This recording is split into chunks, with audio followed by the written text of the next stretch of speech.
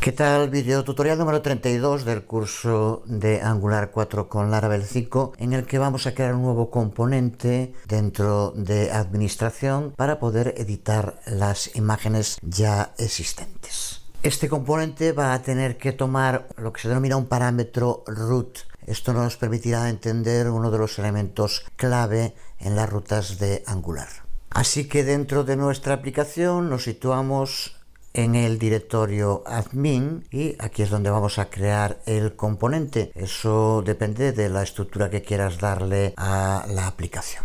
Y ya sabemos con los comandos nggc y vamos a darle como nombre admin image edit y ya tenemos nuestro nuevo componente creado. Los root parameters, que seguro que le suena mucho a la gente que trabaja con Laravel, nos permiten pasar valores dentro de una URL al componente. Así es el modo en que podemos cambiar dinámicamente el contenido de nuestra view. Lo vemos en un ejemplo terminado de lo que vamos a hacer hoy, que creo que quedará más claro. Observa cómo aquí, cuando vayamos a esta ruta, le pasamos un parámetro final que es la ID a la que queremos acceder. Observa cómo de momento aquí hacemos que aparezca. Tenemos dos. Si ahora cambio aquí pongo cualquier otro número, observa cómo al cargarse nos indica que la ID es 6 o cualquier otro número que indiquemos. Esto nos va a permitir actualizar de modo dinámico cualquier página. Veamos cómo hacerlo. En primer lugar, dentro de AppAdmin vamos a abrir el archivo adminroots.ts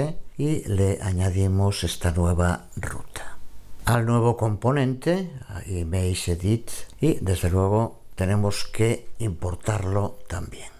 Como puedes ver, estamos utilizando edit dos puntos id. Estos dos puntos lo que denotan es un root parameter, un parámetro de ruta y Angular se encargará de obtener este ID desde la URL.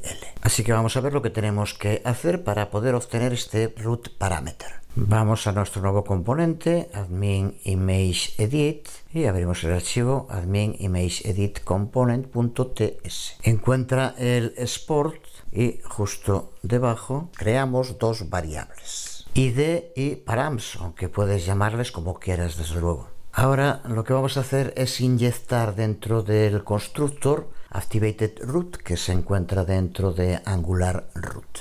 Aquí lo tenemos, activated root, y tenemos que importarlo. Aquí lo tenemos importado y ahora vamos a incluir dentro de ng on init el modo en el que vamos a obtener la id de cada página con este código en el que de nuevo utilizamos un observable. Básicamente cuando se utiliza activated root los parámetros se envuelven en un observable y nos suscribimos a ese observable usando desactivatedroot.params.suscribe.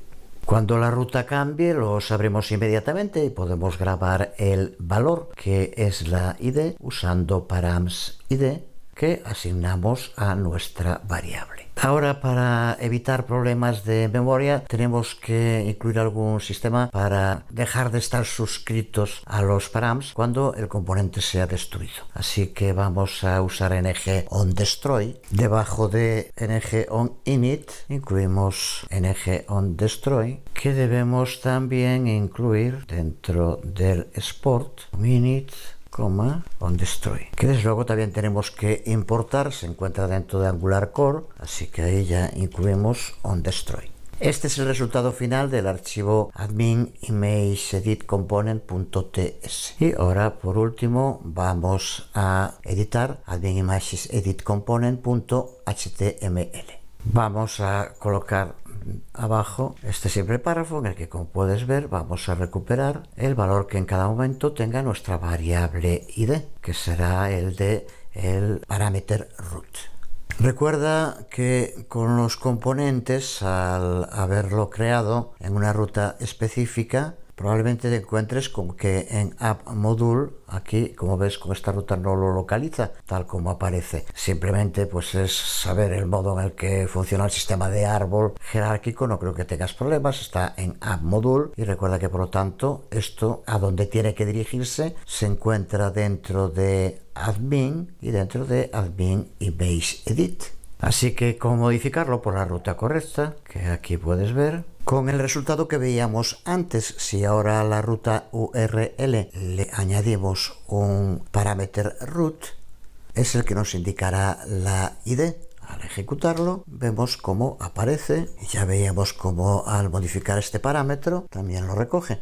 Este nos permitirá acceder a cualquier ID que tengamos de nuestras imágenes.